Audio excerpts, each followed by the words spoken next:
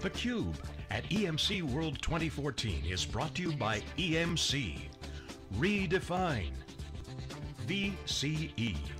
Innovating the world's first converged infrastructure solution for private cloud computing.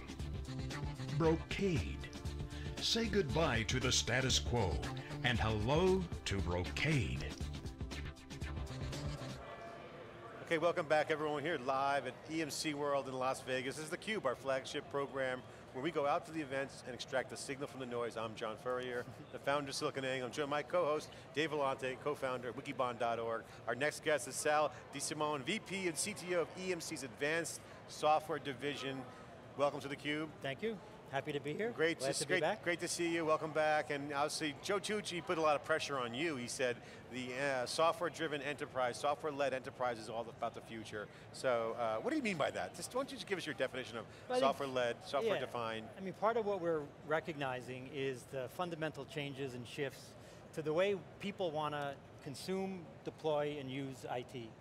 Um, and so, uh, a big key to that is to be able to bring the the convenience and the simplicity and the economics that people like with public cloud, but be able to deliver it in such a way that people can have it on their own premise, in full control, under their security, so kind of bring the, the best of both worlds, and a key enabler to all of that is to be able to deliver this infrastructure in a much more efficient and agile manner, and that leads towards you know, software-based solutions where more of the configuration, more of the function is in, is in software that's easy to configure and easy to tune, and less of it is in super, super specialized uh, Explain hardware. to the folks, what does the advanced software division do at EMC? Because you know, Joe Tucci also explained, you know, the innovation strategy was M&A and organic R&D. Are you in that R&D piece? Are you part of the product portfolio? What, what, just quickly explain the advanced so it's actually division. a uh, combination. So the, the advanced software division's charter within EMC is to, is to define the software-defined uh, strategy for EMC. We have several products that fall under our division. We have obviously ViPR, the whole software-defined storage portfolio. We have the new Elastic Cloud appliance, uh, storage appliance. Um, we also have EMC's existing object storage systems, Atmos and, and Centera, and all of our storage resource management and network and data center management uh, products all brought together to kind of help solve this So problem. I got to ask kind of a, I guess a generic, open, but I guess complicated question is EMC talks about best of breed, nice product portfolio, low end, mid range, flagship, the normal stuff, but best of breed is what Goulden talks about. But yet, scale out open source is disrupting horizontally those known silos. How do you look at that disruptive force? Obviously commodity hardware is changing the game. We heard you know, Jeremy Burton saying, hey, we think software is going to be all the action. So you're in the software advanced group. You look at that trend coming down Main Street uh, tech land. What do you, what do you, how do you guys prepare? What are you guys doing differently? So first of all, we think we're really well positioned to be successful in this software-defined world. We've actually started a lot of these efforts several years ago, so it's not like we just woke up yesterday and are, are trying to, to, to, kind of figure out what to do. So um, I don't think the open source, the, the software on commodity necessarily changes any of the best of breed. Because at the end of the day, um, so you're you, saying you best of breed can exist, coexist with the disruption? Even within the open source software on commodity um, marketplace, there's going to be better implementations than others with different characteristics, different price points, simpler to manage, harder to manage, higher performant, lower performant. When you're going to run different workloads, you need different characteristics in your storage system. So the fundamental physics aren't changing with software, um, and the need to build systems that are engineered well is not changing. So even within the software world, there's going to be a large variety of, of software systems optimized for different price points, for different workloads. So in that regard, it's not, it's not really fundamentally changing. Um, so I was talking to a, I was talking to a big bank the other day. It was some practitioners I was speaking to. Gave my speech. Guy comes up to me afterwards. Huge bank, one of the top banks in the world, and said, um, "I want to talk to you about ViPR." I said, "Oh, cool, great. I always want to talk about you know to a customer about some new stuff." and, and he said, "What I really want is an open source object store that really goes fast." He goes, "But I can't get one." So really looking at, we so we started looking at ViPR, and you know, looks good. Some things, you know, we're not quite there. Blah blah blah. You know, now 2.0 has been announced. Right. Um, and then I said, okay, what's what's driving it? Um, and he said two things. One is simplicity, and the other is basically simplicity. So we're, we think this is the future, is what he said. Uh, but at the same time, we want to we want a way to consolidate all the different platforms that we have in the organization. Are those the two big drivers that you're seeing? Is there one that outweighs the other? Is this the future of the, store, uh, of the storage business? Is this a way to consolidate the stovepipes, or is it both? Both.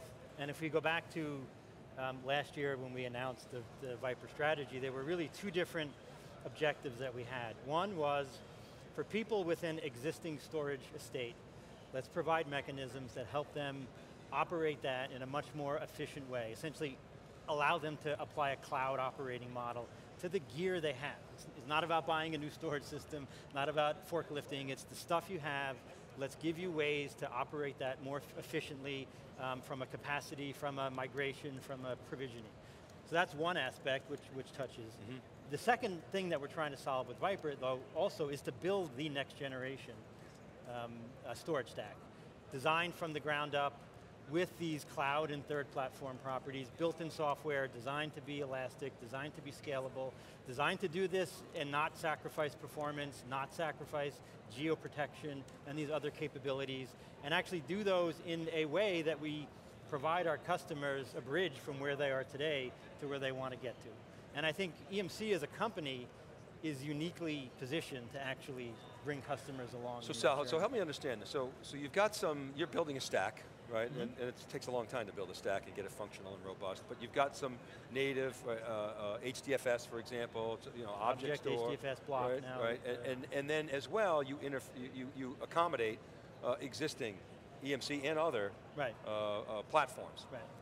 So we, are going to have Brian Gallagher on tomorrow, but I remember he answered this question at one point, and he's very open. You know, he's like embraces ViPR. I'm like, aren't you, yeah. aren't you worried that you know this thing? He said, his answer was, my job is to make sure that my stack keeps you know, outpacing the rest of the industry, be more robust.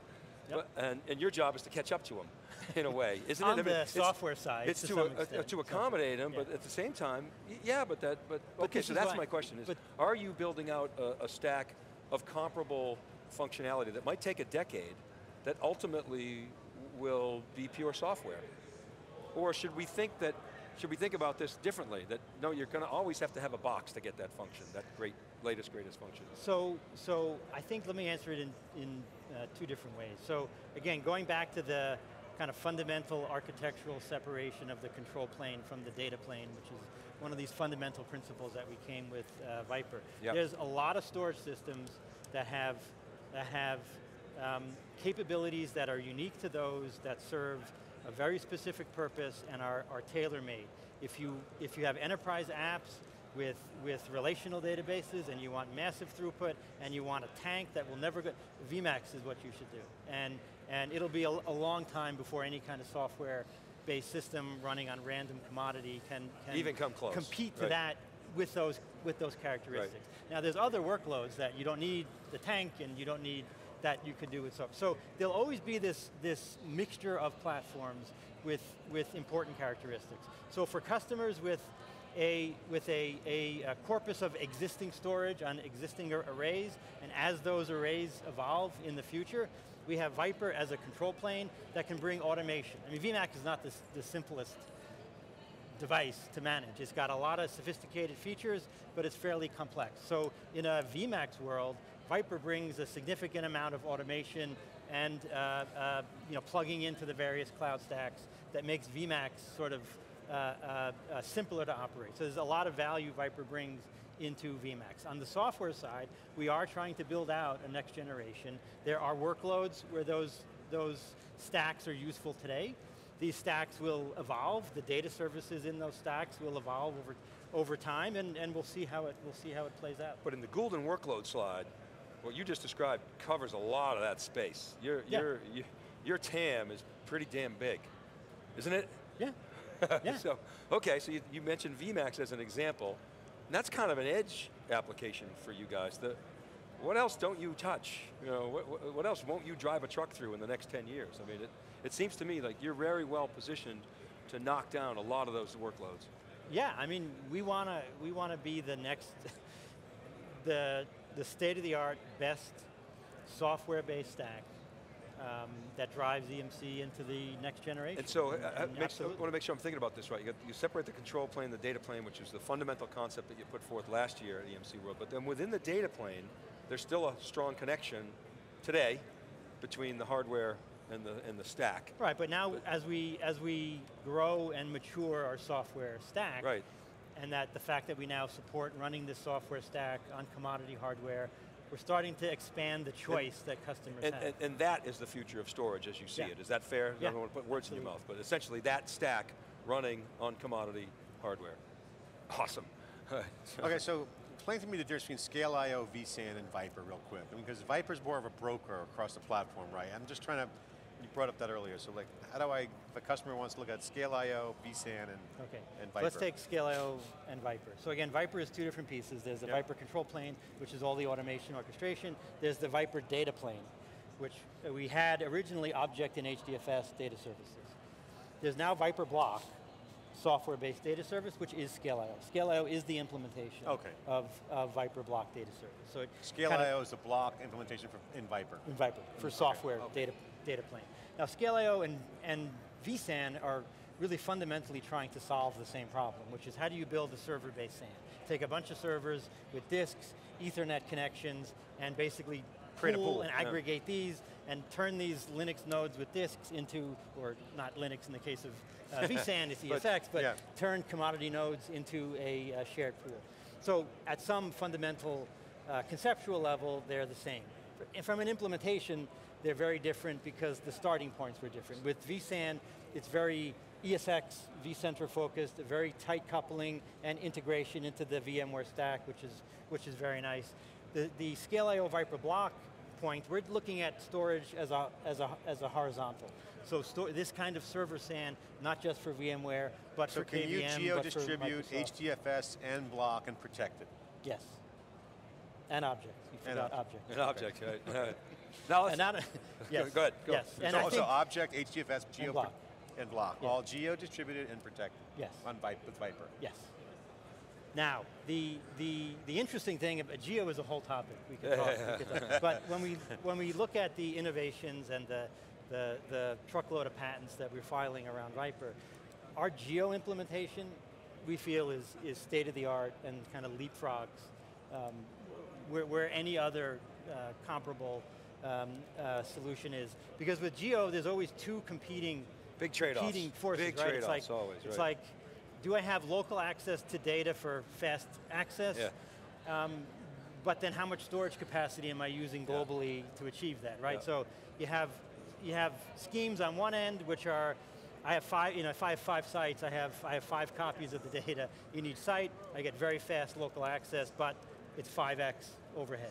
There's the other extreme where you have geo er- erasure coding type schemes where Very efficient, very efficient, but but, slow. I got to stitch together these objects and Yeah. slow. And so some of the breakthroughs we made in ViPR is to kind of bring the best of both worlds. And we have some unique intellectual property that we've developed which uses a combination of local erasure coding and geo-compaction algorithms, which are, which are brand new, which allow us to do, for, a, for say five sites, the overall storage overhead, 1.67, so close to erasure coding, hmm. yet every site has a full local copy of its data, no WAN traffic. So that's really amazing that we can do those two things, and, and this is one of the one of the one of the reasons when you asked about, well, you know, storage software on commodity, everything's equal. Well, everything's not equal, right? Because we have some of these capabilities that are unique intellectual property that we bring that other software-based things running on So you can still don't have. differentiate in this open scale-out commodity gear. Absolutely. So clients want to play with some scale-out low-cost gear, you guys can drop into like building block. We can do that, and we can provide them with geo-distributed, active-active, object, HDFS, access to the same, I mean, there's a whole bunch of capabilities that we bring to the table. The object are in unique. HDFS Geo is pretty cool. The Geo It's very cool. Yeah. So We're we got to talk about, very before we run out of time, we got to talk about the cloud in the box, the Elastic Cloud storage appliance. Right. You guys software division, you selling boxes? So we're EMC, we can't help ourselves, right? No, but actually, if you if you Is it if a box you, as a service? Is it in the cloud?